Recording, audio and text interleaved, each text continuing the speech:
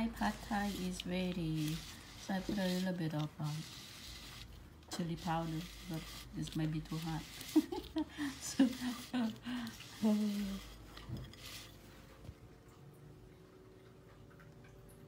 okay, you guys, I can go next up. This is easy.